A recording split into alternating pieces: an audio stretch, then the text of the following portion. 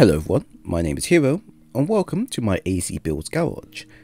I hope to bring you many good, strong, and very wacky AC builds that you at home can give a try on. My end products will always grant you an understanding as to what my builds do and how well they fare in certain content. I always recommend you give them a try at least once, and then use them as a base template for new and exciting builds to build upon. Today's very first build is designed for those that enjoy aerial denial setups involving a lot of fire in the making. Meet my first build, the Hot Potato. My Hot Potato build is designed for air-to-ground combat and area denial operations for enemy ACs and campaign AI enemies. Utilising tetrapod legs to stay in the air for X amount of time, the following can control areas to prevent targets from escaping easily, and then saturate the area with rockets and flames to prevent escape are highly effective against ACs with poor energy management or those who stick to the ground a lot. This is a build I've wanted to do for a while, using flamethrowers instead of napalm, but truth be told, flamethrowers suck in terms of damage, and they only work well when you combine them with an equally consistent weapon to trigger stag damage. Napalms do feel weak at first, but they have great coverage when applied in small areas. On top of that, combining them with anything else that has AoE effects on areas makes it hard for a number of ACs to avoid damage at all. So to achieve what I have, I've gone with a heavy tetrapod frame AC that allows me the strength to take a number of hits while in the air, but also be capable of changing to ground to ground combat if required.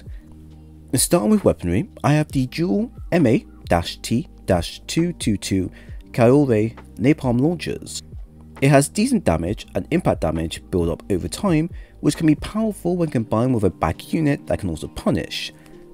In my case, I went with the SB-033M Morley Spread Bazooka that has great AoE effect and also works a charm when using to punish stun targets.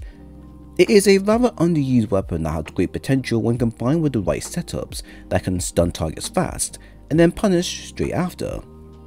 Although it is a bazooka, it acts more like a explosive shotgun that can deal massive damage to those who focus on close range fights and also get stunned quite easily. At the same time, using this while in the air may feel slightly useless because of its spread range, but do remember, when combined with area denial primaries like we have, it can make dialing onto targets a lot more easier. After that, I then went with the BML-G1 P07 VTC 12 vertical missile launcher. The 12 cell version is great for applying pressure on top of what we have, and if we are lucky, getting a stun with a rocket while napalm is bringing down to a target will provide quite a damage boost that is hard to generally avoid. Now armor I went for is to focus on getting enough armor points to tank shots while also having decent energy recovery. Head we have the HD-033M Verrill, Body, we have the 07-061 Mind Alpha. Arm, we have the DF-AR-09 Tian Lao. Legs, we have the LG-033M Verrill. For our booster, we have the BC-0600 12345. And FCS, we have the FCS-G2P05. Generator is the Ming Tang, which is highly recommended an expansion is down to you, but assault armor is recommended. I do want to make myself clear here, all items shown are the final product of what makes the build how it is. However, you don't need to follow this down to a T, as I always, always recommend you customize your liking. Every build I do is more of a blueprint to build upon and discuss further improvements on, so please do take these builds as they are and just enjoy them. The pros and cons for using the build does vary, but a lot of it of course is understandable. For example, the ability to stay in the air for quite a while allows our attacks to be consistent when bringing down targets below with whatever attacks we have in mind to use. On top of this, it also makes it quite easy to predict incoming attacks from targets who decide to get closer to you. Another pro is that ease of use for the build allows players of all types to easily put their following on without the need of endgame components, the weapons used can be easily unlocked through standard story mission or objectives, while body parts used can be anything you like, as long as the legs are tetrapods. This allows users to expand on weaknesses that they may feel isn't as noticeable than before. Cons, however, is how exposed you are while in the air. This is a common con from using tetrapod legs in general, as you can use them while on the ground, but they excel the most when in the air. If you're adaptive to your surroundings, then using the following in the air isn't that much of an issue, as energy levels provided will give you a quick recovery. You do however want to be careful when using this against the ACs that focus on speed the most, as they are the ones capable of avoiding your attacks while also dishing out a good amount of damage back. So that is the build in a nutshell. Now I'm going to show you some arena battles I had with the following build, just so you know how well it works against certain ACs, and how from learning the gameplay, you too can adapt and create your own version.